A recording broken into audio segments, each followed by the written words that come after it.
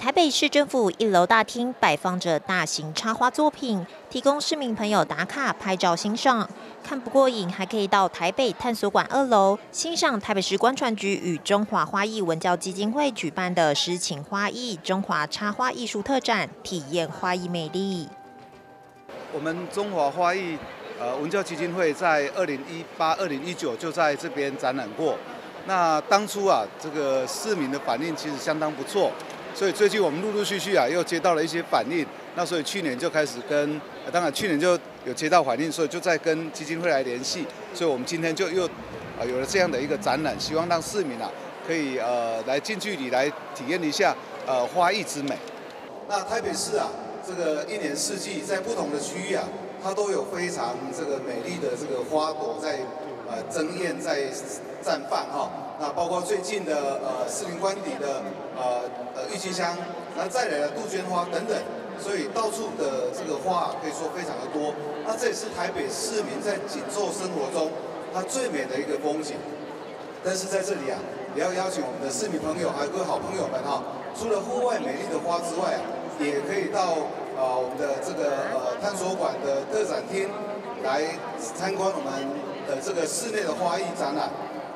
我们的花展呢，总共会分两个梯次啊，哈，总共有六十件以件以上的作品，它会用呃插花的艺术来让我们的市民朋友来体验不同的艺术之美，所以欢迎大家，在看室室外的花、户外的花之外，也能够到室内来参观我们的这个特展哈。特展将花艺结合诗词，意境深远。策展人王爱珠老师表示，随着四季流转，有不一样的插花花艺展示，结合六大花器与四大类型的作品。走完展览一圈，仿佛看完一整年花卉风采。主轴呢，因为总共展览有两个梯次，然后第一个梯次是民间插花。那民间插花，我们就顾名思义嘛，就是我们老百姓很喜欢的一些花卉。那它的色彩缤纷亮丽。随着四季的流转，春夏秋冬，你知道，像我们现在有春节、元宵节，然后接下去我们春天有清明节，然后呢，夏天我们到了夏天有什么端午节，是不是？然后也庆祝八八节。夏天的时候还有一个美丽的节日叫七夕情人节。好，然后再来我们想冬秋天，秋天最重要的就是中秋节，对不对？然后九九重阳。那我们从呃节气来讲，秋天有立秋，有所谓的秋分。那我们到冬天有立冬、冬至、吃汤圆等等的习俗，有七夕情人节的作品，有九九九重阳节的。那我们可以从春天走到夏秋冬，然后走完一圈，就好像把我们这个一年最美好的世纪、最美好的节日全部一次看完，应该会带回满心的欢喜。春天是一个很棒的季节，百花盛开。